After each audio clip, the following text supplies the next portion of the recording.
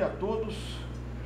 Havendo o quórum regimental, damos início à primeira reunião extraordinária de 2023 da Comissão de Orçamento, Finanças e Contabilidade. As proposituras da pauta foram distribuídas aos relatores da seguinte forma.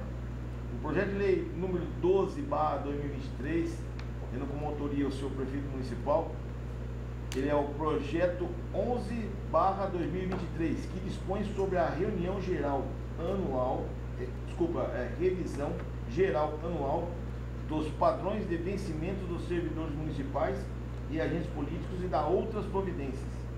Fica como relator nosso vereador Fernando Sirke.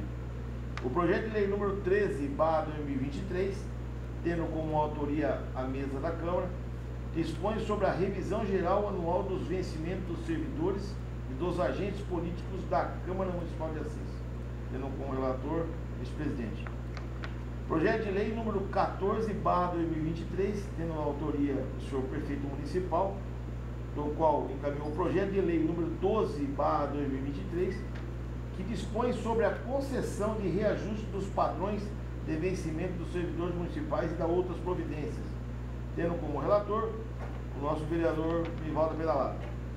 O projeto de lei número 15, 2023, de autoria da mesa da Câmara, dispõe sobre a concessão de reajuste nos valores dos padrões de vencimento dos servidores da Câmara Municipal de Assis, tendo como relator nosso vereador Fernando Sique. Tendo os, os, os projetos aqui apresentados, coloco em discussão as proposituras da pauta. Tem discussão?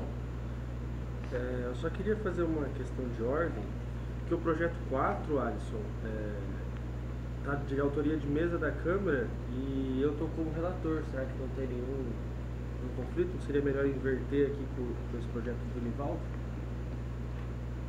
Que eu assinei. Pode fazer essa alteração. Pode, pode, pode presidente, pode fazer essa é, renomeação, por gentileza. Tá, okay. Troca o 14, coloca é. eu e aí coloca o Nivaldo. Foi bem lembrado. Tá, okay. Diante da, da, da, colocação do nosso vereador Fernando Sique, do qual faz parte da mesa diretora e apresentou o projeto, nós iremos fazer a seguinte alteração. O projeto de lei número 14, 2023, ficará com a relatoria do nosso amigo vereador Fernando Sirkel.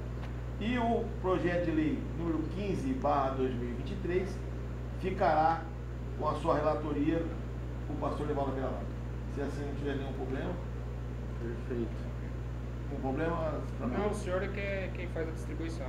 Fica dessa forma, para ficar de uma maneira mais transparente e também Sim. que não tenha nenhum tipo de é, conversação. Né? Sim. Já não, foi, não, não, foi observado anteriormente, mas foi uma boa observação. Parabéns, bem, bem lembrado aí, a colocação. Então, é. vamos. É, Pode na sequência. Vamos dar a sequência então? Coloca a discussão novamente? Pela ordem, presidente, é, em relação ao projeto 12, primeiro aqui da pauta que caiu da minha relatoria, não vejo nenhuma novidade, aqui é uma reposição salarial referente à perda inflacionária do ano passado, o RGA, que é o índice que vai ser aplicado. E olhando o projeto aqui, eu vejo que todos os critérios da, da Lei de Responsabilidade Fiscal estão sendo cumpridos, como por exemplo o impacto orçamentário e a declaração do ordenador de despesa.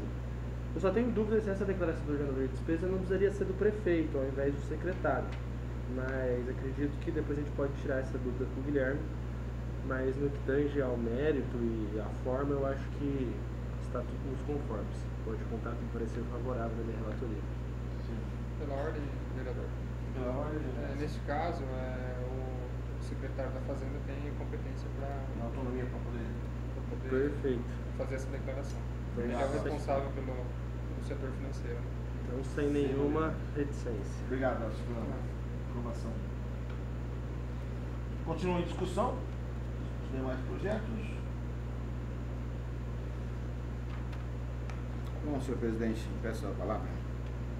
É, quanto ao projeto é, de lei aí, número 15 de 2023, que passa a ser de relatoria minha, é, que dispõe sobre é, concessão de reajuste nos valores dos padrões de vencimento dos servidores da Câmara Municipal de Assis, também é, vejo que são reajustes que devem ser voltados a atenção, até para que não, não fique aí é, os mesmos desfavorecidos naquilo que, que demanda aí né, os aumentos salariais. Então, com certeza já foi visto também né, as, as necessidades e, e, e, já foi observado aí os valores né, que deve ser atribuído nos momentos corretos em, em relação às suas referências. É, também, então, tudo bem. Parecer será também favorável a esse, a esse projeto. Tendo em vista que sempre tem que acompanhar, tem que sempre estar preocupado com essa questão de acompanhar né, as, as infrações aí do, do nosso, nosso Brasil aí. Né. Então, tá tudo bem. É, em relação ao outro projeto da minha relatoria, também sem novidades. É, esse projeto, diferentemente do outro que é uma reposição, esse é uma compensação, na verdade é um aumento tendo em vista o projeto da Previdência que vai vir descontar. Então, sem novidades também, pode contar com parecer favorável. É mais uma compensação, né? Não é porque o funcionário, né, o, o servidor não tenha é, algum tipo de, de perda, né? Isso, e quanto à forma também está tudo correto, conforme preceitua a Lei de Responsabilidade Fiscal. Bom, vou, aproveitar e falar sobre o projeto também que está sobre minha relatoria, é o número 13, né, projeto de lei número 13, também fala sobre o, o reajuste anual dos servidores, né?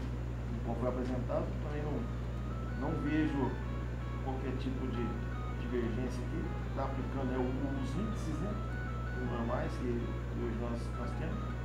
Então, esperar, esperaríamos até um pouco mais, mas pelo que está apontando é o que ele, ele quer mandar.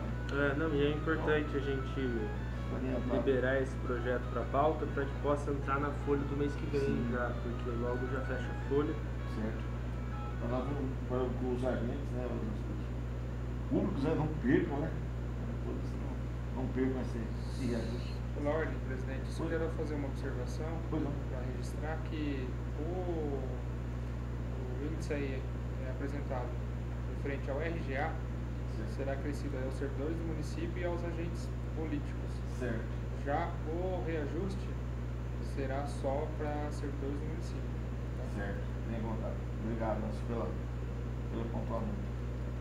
Então também não tenho nada também a, a contrariar né, o, o posicionamento aqui. O relator favorável. Um questionamento, mais alguma coisa? Não. Um apontamento? Não, está tranquilo. Bom, diante de, de todos os apontamentos, né? Então acho que não, temos mais o que ser comentado.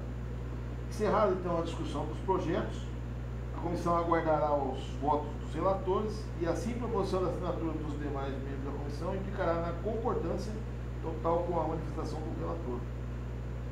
Não havendo mais nada a ser discutido, declaro encerrada a reunião. Muito obrigado a todos e uma ótima semana.